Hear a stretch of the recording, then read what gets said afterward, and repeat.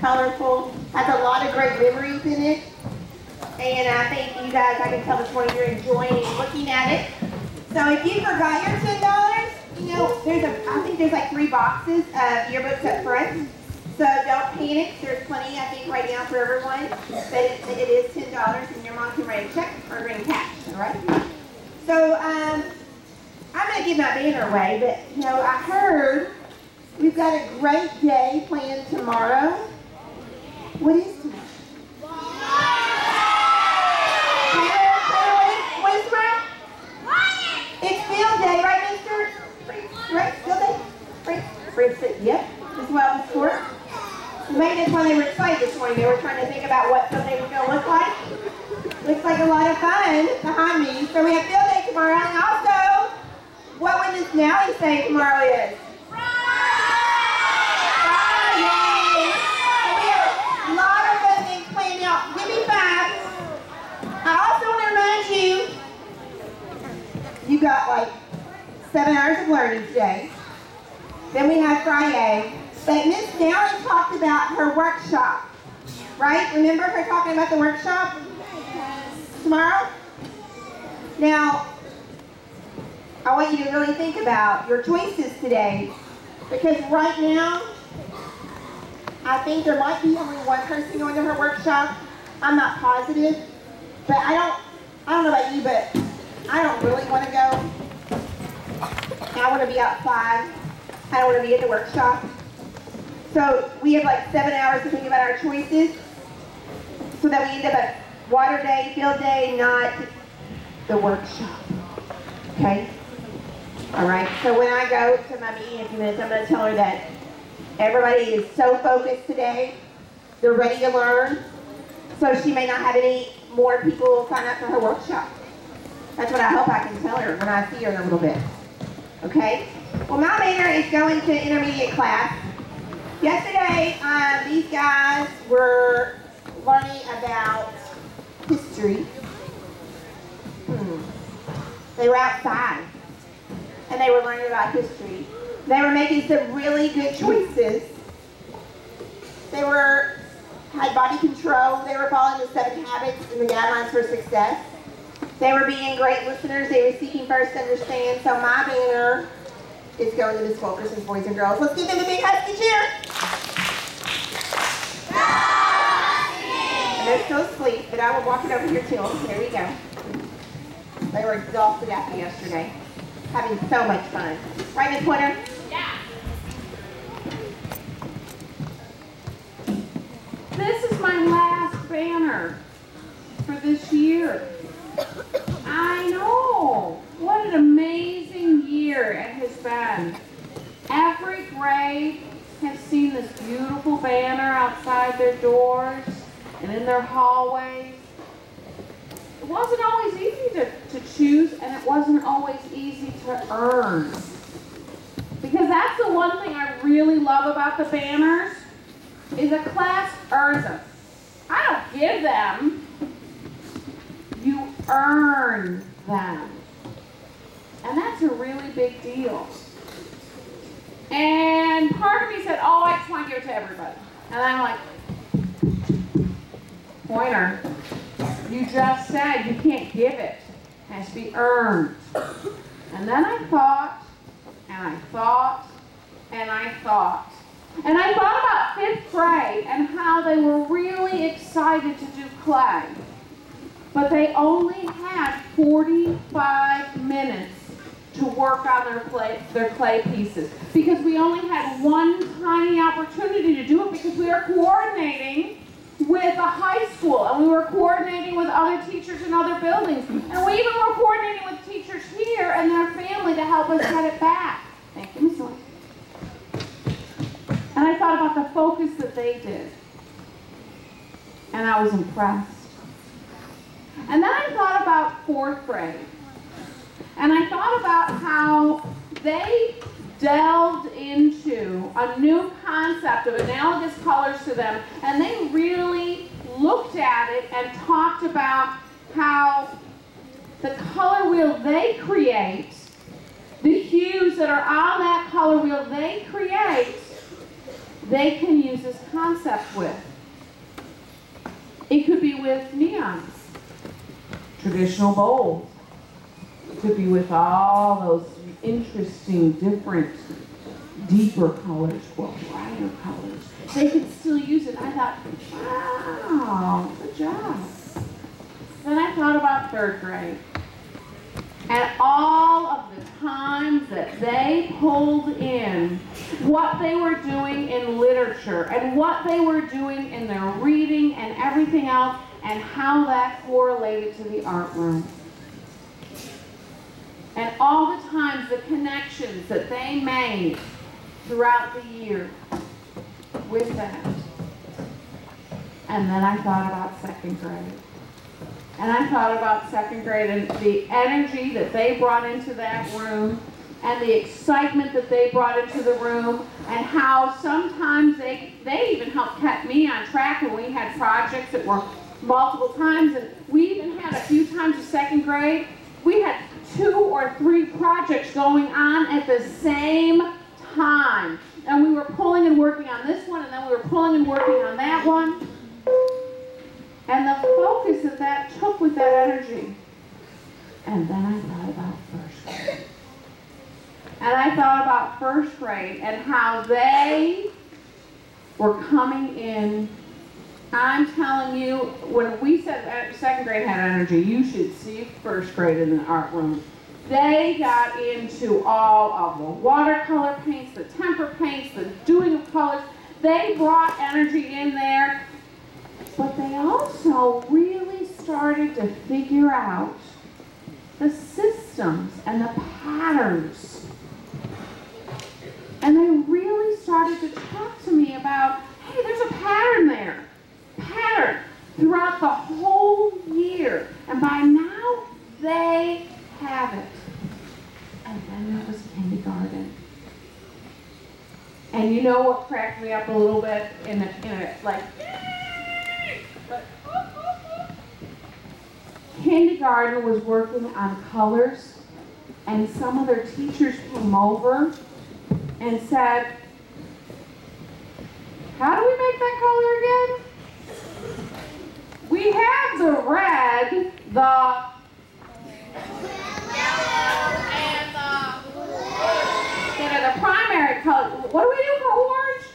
And the kindergartners were like, We got we know how to make the secondary colors, the orange, the green, and the purple. And they got to help and lead with their teachers. They owned those primary colors and they owned those secondary colors. And I thought, they earned the banner too. So I'm not giving the banner. I am not giving the banner. Because I am presenting a banner that was earned by kindergarten, first, second, third, fourth, and fifth grade this year. You all had growth in your own way. Now I'm challenging you to continue to take what you've learned in that art room, our art room, and in your classroom, and in all the other rooms, and continue to make the connections all summer long.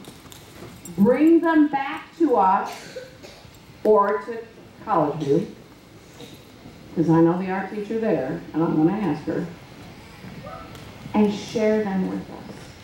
So I'm going to take this and put it outside the conference room and say, thank you for everybody earning the banner for the art room, the last banner. Now, one big huge husky cheer for the school.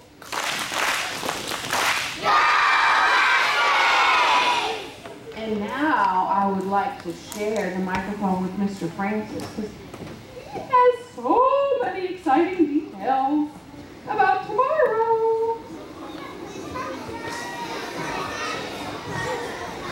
Good morning. As you know, tomorrow is Miss Nally's favorite day, and that is.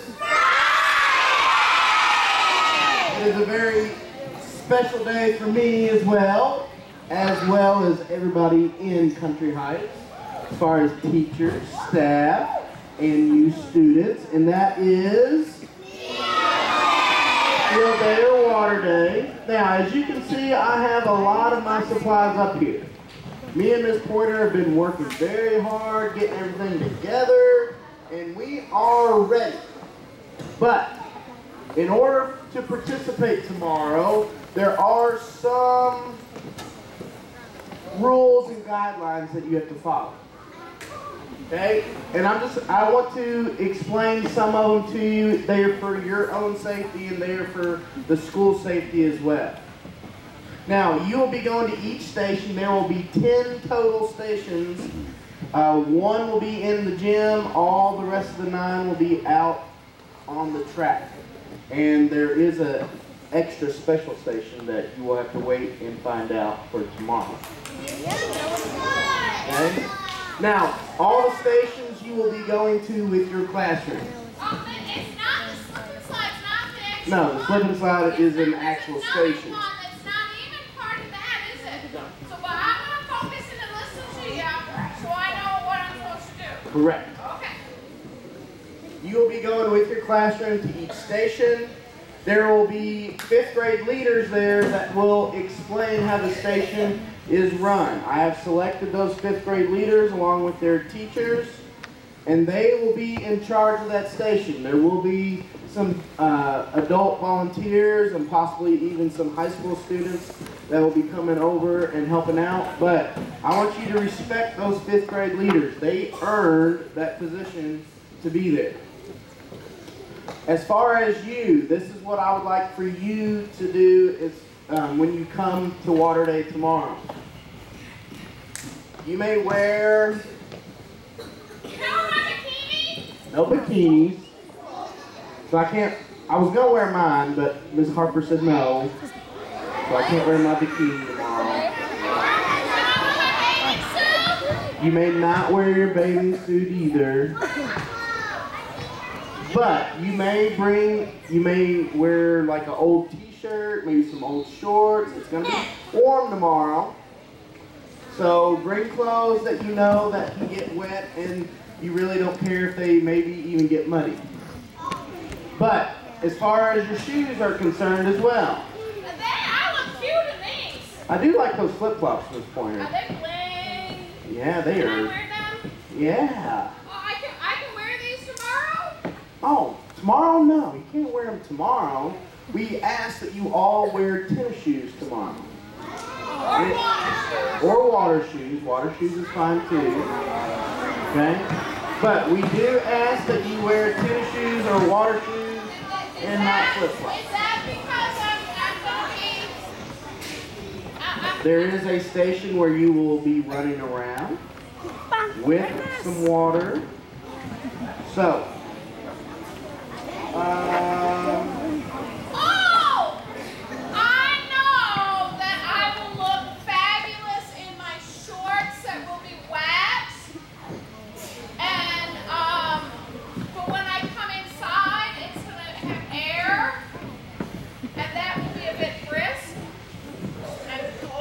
so whenever you get out of a pool or whenever you get out of a shower, what do you usually use? A towel. So please make sure that you bring a towel, not for your friend to use, but for you to use. And, Okay? and I'm gonna bring else? A And a change of clothes as well. Can I Now, tell you a story about last year though? What- It's a little embarrassing. go ahead. Go ahead.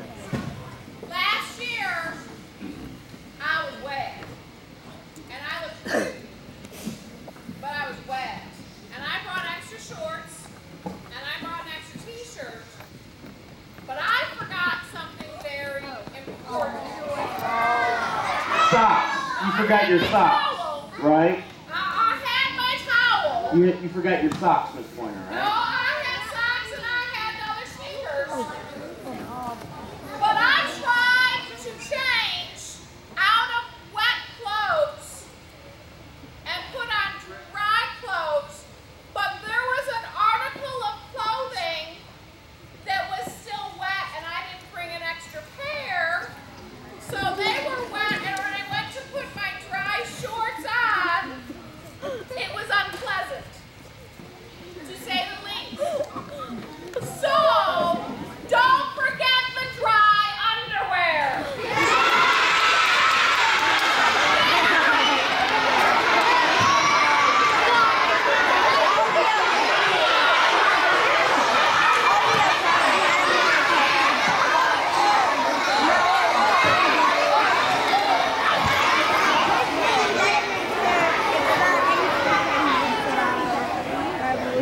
and the last, the last thing that we are all asking you to do.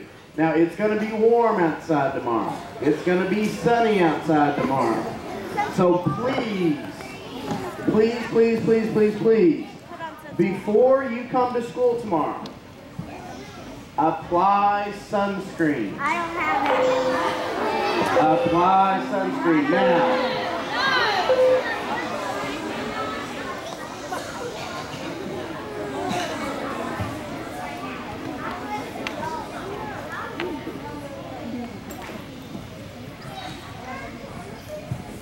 We do not want any friend to bring sunscreen to school. We do not want to share sunscreen with any of our friends, so that is why we are asking that you apply it at home before you come to school. Primary, you will be going in the morning. You will start at 8.15 and go to 11 o'clock. And then intermediate, you will start at 11.15 and go to about 1.30. Okay? I'm looking forward to it. I hope that you all have fun. Get plenty of rest tonight because it's going to be a very exciting day tomorrow. I'm doing 24 hours now. Right, we have some birthdays to share with you today. We're going to finish all of May birthdays today. So if you have a birthday in May and you have not heard your name, you're going to hear it today. And then next week, we're going to do summer birthdays. So if you have a June or July birthday, we'll announce those next week. So listen for your, listen for your name and come on down and get a pencil.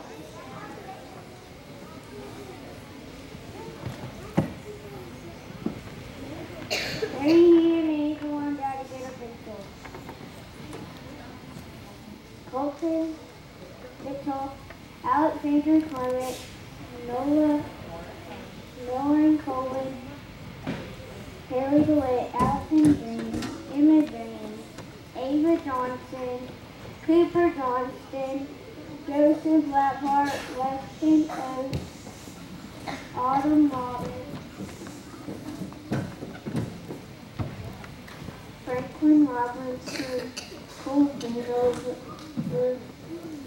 Monahan,